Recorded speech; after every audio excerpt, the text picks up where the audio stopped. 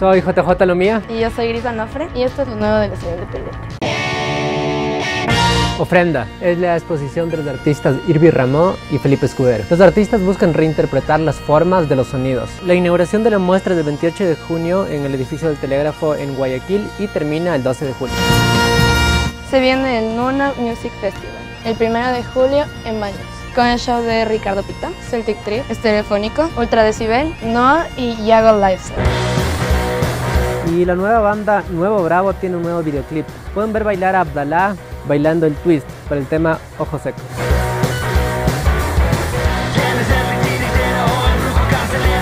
Y les invitamos a ver las live sessions de Sonámbula. La primera entrega es para el tema Siempre marchamos de frente de Ricardo Pita featuring Paola Navarro.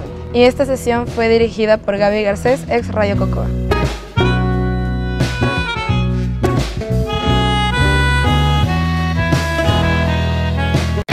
Sesiones Cementerio. Este primero de julio en la Ciudadela Naval de Guayaquil. Es un concierto que va a ser grabado para luego sacar sesiones en vivo. Con las presentaciones de Kid Noy, Tallos, Niño Índigo, Non Dance, CBRF, Sistema Vitral. Caiga.